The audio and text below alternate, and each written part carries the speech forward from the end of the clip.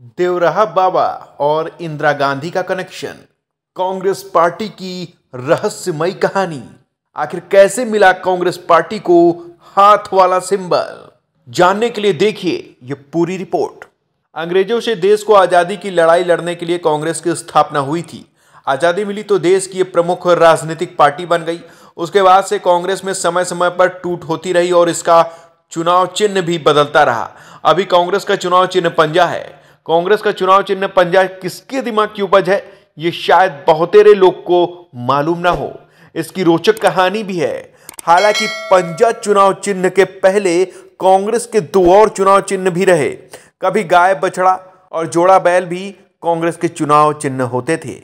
इंदिरा गांधी ने 1975 में देश में इमरजेंसी लगा दी। इमरजेंसी की बुनियाद 1974 में शुरू हुए छात्र आंदोलन से पड़ी, जिसे नेतृत्व देकर जयप्रकाश नारायण ने राष्ट्रव्यापी बना दिया था। इमरजेंसी का खामियाजा 1977 में हुए लोकसभा चुनाव में इंदिरा गांधी को करारी हार के रूप में भुगतना पड़ा। कांग्रेस की इतनी बुरी हार हुई कि अब उसके पुनर्जीवित होने पर भी लोगों को संदेह था, लेकिन चुनाव चिन्ह बदलते ही अगले चुनाव में कांग्रेस ने ज़बरदस्त ढंग से वापसी की। इंदिरा पहुँच गई। बाबा की शरण में। लोकसभा के चुनाव में बुरी तरह मात खाने के बाद कांग्रेस में मायूसी थी। हार इतनी बुरी थी कि कांग्रेस के सर्वाइवल का कोई रास्ता भी किसी को सूझ नहीं रहा था। हार के कारण तो पता थे, लेकिन इसे कैसे नया जीवन मिले और इस पर कांग्रेस ने लगातार मंथन जारी रखा। उसी दौरान कांग्रेस के किसी नेता के दिमाग में यह बात आई कि छवि बदलने के लिए क्यों ना पार्टी का सिंबल बदल दिया जाए। इसके साथ ही उस नेता ने इंदिरा गांधी को उत्तर प्रदेश के पूर्वांचल में रहने वाले सिद्ध संत देवराहा बाबा के दर्शन की सलाह दी थी। आशीर्वादी हाथ बन गया चुनाव चिन्ह। अपने करीबियों की सलाह पर इंदिरा गांधी देवराहा बाबा के दर्शन के लिए उत्तर प्रदेश के जिला मुख्यालय देवरिया से तकरीबन 40 किलोमीटर दूर उनके आश्रम पर गईं। बाबा से जो भी मिलने जाता था उसे वो हाथ उठाकर आशीर्वाद देते थे। उन्होंने इंदिरा गांधी को भी दर्शन देखने के बाद उसी अंदाज में हाथ उठाकर आशीर्वाद दिया। बताया जाता है कि वहाँ से लौटने के बाद इंदिरा गांधी ने कांग्रेस का चुनाव चिन्ह गाय बछड़ा की जगह पंजा करने के लिए चुनाव आयोग से आग्रह किया। चुनाव आयोग ने पंजा चुनाव चिन्ह कांग्रेस को आवंटित कर दिया। वहीं चुनाव चिन्ह आज तक चल रहा है। 1977 के लोकसभा चुनाव में कांग्रेस की जिस तरह दुर्गति हुई थी, उससे किसी को भी अनुमान नहीं था कि वो फिर से उठ पाएगी। देवराहा बाबा के आशीर्वाद और पंजा चुनाव चिन्ह मिलने के बाद ढाई साल बाद लोकसभा चुनाव की मध्यावधि चुनाव में इंदिरा गांधी ने पूरे दमखम से सत्ता में वापसी की थी। टूटती रही कांग्रेस, बदलता रहा इसका चुनाव चिन्ह। आज़ादी के बाद कांग्रेस का चुनाव चिन्ह कई बार बदला। आरंभ इसका चुनाव चिन्ह जोड़ा बैल था। इंदिरा गांधी 12 नवंबर उन्नीस सौ उनहत्तर को कांग्रेस से निकाल दी गई। तब उन्होंने कांग्रेस आर नाम की पार्टी का गठन किया। कांग्रेस आर का चुनाव चिन्ह गाय बछड़ा था। कांग्रेस आर ही के बाद में कांग्रेस आई बन गई। कांग्रेस का गठन 28 दिसंबर अठारह को हुआ था और इसकी स्थापना अंग्रेज़ एओ ह्यूम ने की थी। कांग्रेस के पहले अध्यक्ष व्योमेश चंद्र बनर्जीत बने थे। जिस समय कांग्रेस की स्थापना हुई, उस समय इसका उद्देश्य अंग्रेज़ों की गुलामी से भारत की मुक्ति थी। आज़ादी मिलने के बाद कांग्रेस भारत की प्रमुख राजनीतिक पार्टी बन गई। आज़ादी मिलने के बाद महात्मा गांधी ने कहा था कि कांग्रेस के गठन का उद्देश्य पूरा हो गया। अब इसे खत्म कर देना चाहिए। कांग्रेस विरोधी लोग आज भी महात्मा गांधी की उस बात को अक्सर दोहराते रहते हैं। 1977 में कांग्रेस का जो हाल था, वही उन्नीस सौ चौरासी में भी विपक्ष का था। इंदिरा गांधी की उन्नीस सौ चौरासी में हत्या के बाद तो कांग्रेस इस कदर उभरी कि विपक्ष का सुपड़ा ही साफ़ हो गया। राजीव गांधी के नेतृत्व में हुए लोकसभा के चुनाव में कांग्रेस को एक तरफा बहुमत मिला।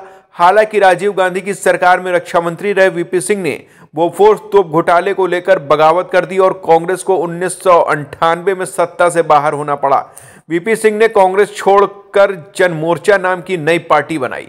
भाजपा और वामपंथी दलों के सहारे वो प्रधानमंत्री बन गए। मंडल आयोग की सिफारिश लागू होने पर बीजेपी ने समर्थन वापस ले लिया और वीपी सिंह की सरकार गिर गई। जन मोर्चा भी बिखर गया।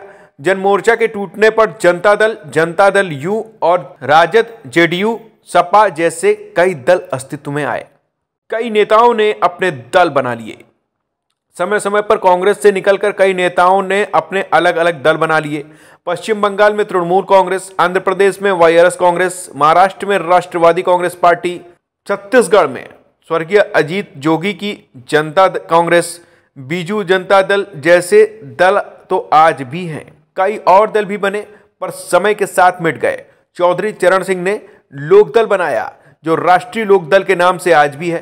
कांग्रेस से अलग होकर अपनी पार्टी बनाने वाले नेताओं में कुछ तो बाद में कांग्रेस में लौट आए। प्रणब मुखर्जी, अर्जुन सिंह, माधवराव सिंधिया नारायण दत्त तिवारी, पी. चिदम्बरम तारिक अनवर ऐसे प्रमुख नाम हैं जो कांग्रेस छोड़ गए, लेकिन बाद में वापस लौट आए। ममता बनर्जी, शरद पवार जगन मोहन रेड्डी, मुफ्ती मोहम्मद सईद जैसे नेताओं ने कांग्रेस से निकलने के बाद अब भी अपनी पार्टी के सर्वे सर्वा बने हुए हैं। आइए जानते हैं सिद्ध संत देवराहा बाबा के बारे में। देवराहा बाबा ने जीते जी ना अपने जब तक और सिद्ध संत होने का कोई दावा किया। और न ही किसी को उनकी उम्र के बारे में कोई जानकारी रही। लोग बताते हैं कि उनकी सबसे बड़ी खूबी ये थी कि वो बिना बताए लोगों के मन की बात जान लेते थे। उनका नाम देवराहा बाबा शायद इसलिए पड़ा कि वो उत्तर प्रदेश के देवरिया ज़िले में रहते थे। उनकी उम्र का कोई पुख्ता प्रमाण नहीं मिलता, लेकिन उनके भक्त 250 से 500 साल उम्र बताते हैं। 19 जून 1990 को वो इस संसार से प्रणय कर गए थे। लोग तो यह भी बताते हैं कि पानी की धार पर भी वो चलते थे। बाबा के चमत्कार की चर्चा इतनी थी कि 2011 में जॉर्ज पंचम भी उनके दर्शन के लिए भारत आए थे। देश के दिग्गज राजनेता उनके भक्त थे। ऐसे लोगों में राष्ट्रपति डॉक्टर राजेंद्र प्रसाद के अलावा अटल बिहारी वाजपेयी, मुलायम सिंह यादव, जगन्नाथ मिश्र जैसे कई बड़े नेता शामिल थे। इसी क्रम में इंदिरा गांधी भी बाबा का आशीर्वाद लेने उनका आश्रम गई और उनके हाथ के पंजे के निशान को ही वो अपना निशान बनाई और अंत में कांग्रेस को फर्श से अर्श तक उठा ले गई। बहरहाल, ये रिपोर्ट आपको कैसी लगी, हमें कमेंट बॉक्स में ज़रूर बताएँ। Bureau report, live India news.